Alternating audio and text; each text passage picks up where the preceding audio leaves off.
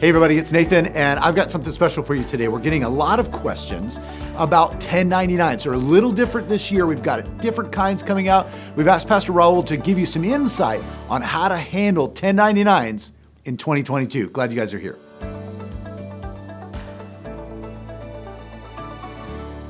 Well, thank you, Nathan, and I'm very glad to address this topic because there are a lot of pastors and, and, and, and church administrators calling in saying, what do I do with this 1099 that I received, or should I be giving out a 1099? And so I'm going to cover three different types of 1099s today that are going to be very common in 2022. So, number one, your church is likely to receive Form 1099 if, especially if you have a third party merchant provider where you accept tithes and offerings and donations to your church online, and people use their credit cards or debit cards to make those donations. The rule is that if you receive at least 200 transactions per year and it's $20,000 or more, then that organization's, the, the, the merchant provider is going to be required to issue that form to you. The good news is that as a church, you probably already have your 501c3 status and you are tax exempt, so you don't have to report it unless some of that income reported on Form 1099K is unrelated business income. Maybe the church engaged in an activity that's not typically related to church activities, and you're required to file that on Form 990, which is a separate topic. However, most churches won't have to do anything with Form 1099K other than to keep it in their records.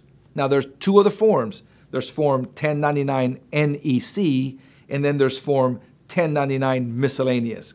What's the difference? They almost look alike, or we thought they were one and the same. Well, Form 1099 NEC is a form that used to exist way back in the 70s and 80s, and in 1982, the IRS stopped using it and consolidated it into just Form 1099 Miscellaneous. Now, here we are in 2022, and the IRS is saying, well, maybe we need to separate those again. So let me explain the difference. If you give non employee compensation to an individual who maybe preached at the church or does lawn maintenance or cleaning at the church or any individual to whom the church paid 600 or more but they weren't an employee then you're going to be required to give that employee a form 1099 NEC that means anyone who receives from your church $600 or more combined for the whole year needs to receive this form. What about Form 1099 miscellaneous?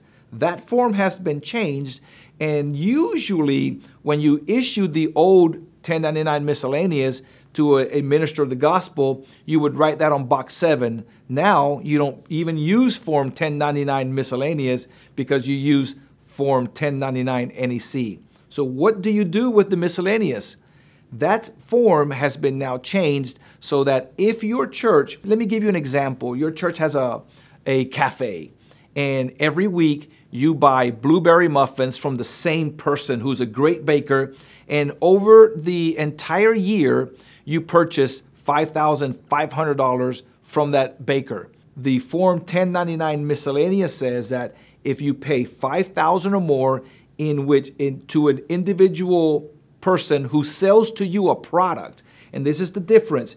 You are buying a product that your church will use for resale. So you bought the muffins, you're going to resell them to the, the congregation or people who come in. If you spent 5000 or more with that same baker, then you have to issue that baker form 1099 miscellaneous. So how do you give them the form? Well, before you ever bought your first muffin from the baker, you should have given him Form W 9.